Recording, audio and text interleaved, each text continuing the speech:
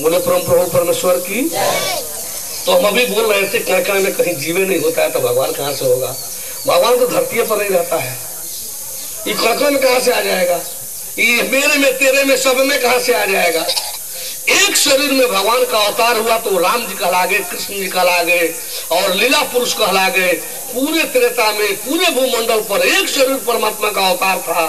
पूरे द्वापर में, पूरे भूमंडल में एक सूर्य कृष्ण का कृष्ण रूप में अवतार था, वो भगवान कहलाए, वो पूरा अवतार कहलाए, जिसमें भगवान था। आज़ाद में भी भगवान, मेरे में भी भगवान, सब में भगवान है, और भगवान है और भगवान अज्ञानी हो गया।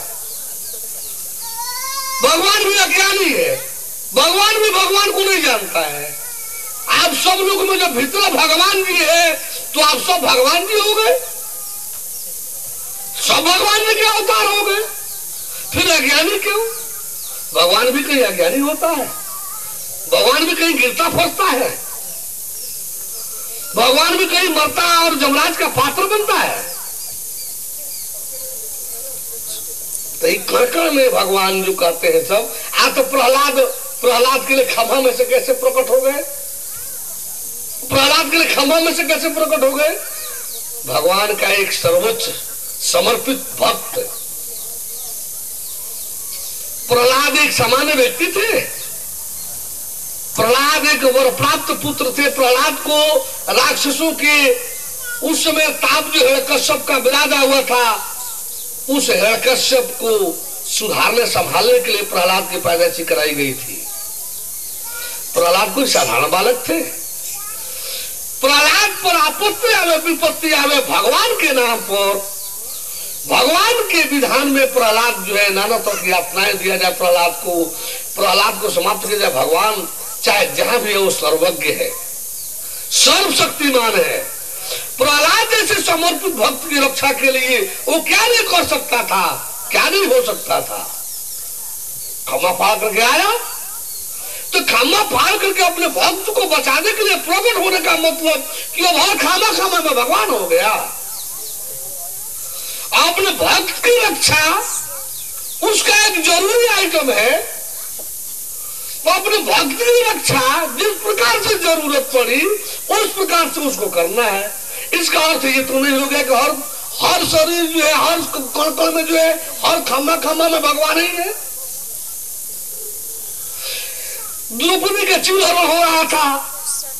द्रौपदी पहले देखे कि हमारे पाँच पांडव है, हमारा अपमान थोड़े बर्दाश्त करेंगे। देखे पाँचों पांडव का सिर नीचे झुका हुआ है। कह रहे कि हाँ यानी भीषम जी दादाजी है, यहाँ आचार्य जी सब बैठे हुए द्रोणाचार्य जी हैं, कृपाचार्य जी है, यहाँ विदुर जी महात्मा बैठे हुए हैं। क्या इस सहा धर्मंजियों है? धृतराष्ट्र जी बैठे हुए हैं। हमारे, यानी इस इन महान पुरुषों के, इन महान व्यक्तियों के सामने जो है, कहीं अपमान किया जाएगा? देखिए कि इन लोगों का भी सिर नीचे झुका हुआ है। अपने ताकत का प्रयोग कर रही है। बहुत ताकत भी था उसमें। वो भी बरपुत्री थी। ताकत था, उसका भी प्रयोग किया, लेकिन वो भी काम नहीं किया। तब जाकर के वो जो है, पुकार किया कृष्ण का। तब पुकार किया कृष्ण का। और कृष्ण जो है वहाँ, उसके रक्षा के लिए क्या किए? साड़ी बन गए कि साड़ी बना दिए, साड़ी भेज दिए। कि लोगों को देखते हुए क्या स्थिति हो गई कि सारे बीच नारी है किनारे बीच सारी है? सारी ही किनारी है किनारी ही की सारी है? किसी को दिखाई नहीं दिया, समझे में नहीं आया। तो हमें कहा जाए कि हर सारी भगवान कृष्ण है। हर शरीर भगवान कृष्ण है। क्या है भाई, द्रौपदी की सारी बन गया था। ये सब कोई तुकबंदी भी, भी इसमें नहीं तर्क भी नहीं काम करता है इसमें। तुकबंदी भी काम नहीं करती है। भगवान तो भगवान है। अपने समर्पित स्वागत भक्त की रक्षा के लिए उसको जब जहाँ जैसा ज़रूरत पड़ता है वह तब तक ऐसा हो जाने में कर लेने में उसको कोई परेशानी नहीं है। इसका मतलब एक जनरल रूल नहीं बन जाएगा। जनरल एक नियम नहीं बन जाएगा कि हर चीज़ में वही है। तो कणकण में भगवान है हर किसी में भगवान है, ये बात सही है। तो परित्राय साधु नाम विनाशाय च दुष्कृताम धर्म संस्थापनार्थाय संभवामी जुगे जुगे। ये जुगे जुगे वाली बात कहाँ से आती? जुग जुग में अवतार की बात कहाँ से आती? जब कौन कौन में है ही है, जब सब में है ही है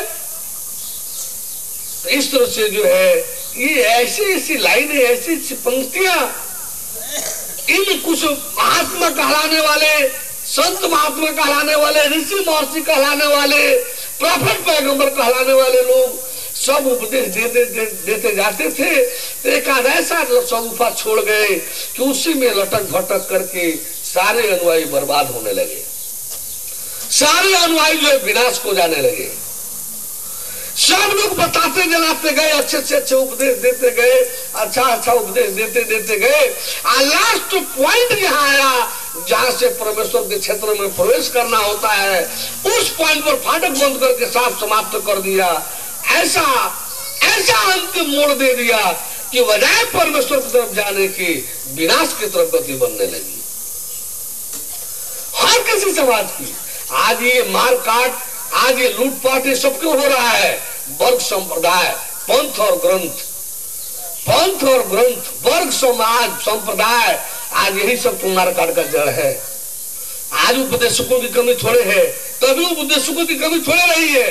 लेकिन उपदेशक का उपदेश परमात्मा की तरफ़ बढ़ने के बाद जब कोई और मोड़ लेता है तो वहीं पर जाकर के ये विकृति और विनाश का रूप बनता है। जब धर्मोपदेशकों का धर्मोपदेश, परमेश्वर की तरफ़ बढ़ने के बजाय कोई दूसरा मोड़ जब लेता है तो वहीं पर जो है विकृति का बीज, विकृति का बीज छिड़ जाता है। वह पनप करके जब वृक्ष रूप लेता है तो चारों तरफ़ मार काट, हाहाकार, विनाश की स्थिति आती है। हम भगवान तो हम भगवान हम भगवान तो हम भगवान, और चारों तरफ़ भगवानों की बाढ़ भी आ जाती है। बोले परम प्रभु परमेश्वर की